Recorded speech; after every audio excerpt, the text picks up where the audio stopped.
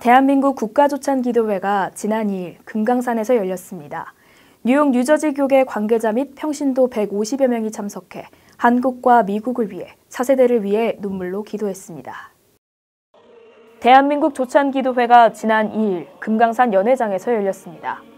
이번 국가조찬기도회에는 150여 명의 목회자와 성도가 참석한 가운데 한국과 미국을 위해 뜨겁게 기도했습니다. 황창엽 준비위원장의 개회 선언으로 시작된 기도회는 양민성 목사의 기도, 뉴욕 장로 성가단의 특별 찬양이 있었습니다. 허연행 목사는 설교에서 기독교가 가졌던 원래의 가치와 본질을 회복하자고 말씀을 전했습니다.